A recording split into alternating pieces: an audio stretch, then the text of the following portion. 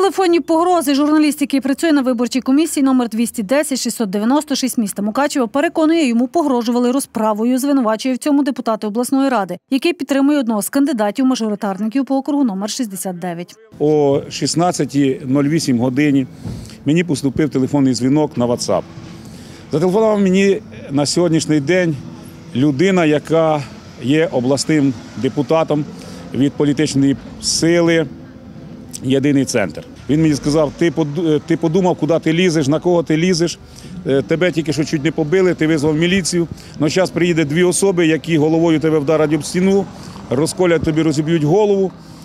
Е, А ні, то я ще сам туди приїду і сам тобі там розіб'ю голову. Причини погрози каже, виявлені ним порушення під час процесу волевиявлення на дільниці.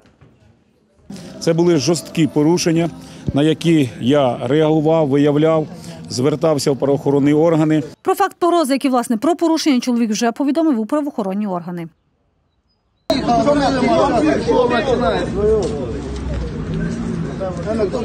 На цій же де переважно голосує ромське населення, зафіксували й порушення статті про таємницю голосування. Нагадаємо, голосування є таємним. Членам виборчих комісій чи іншим особам забороняється розголошувати відомості, що дають можливість встановити результати волевиявлення.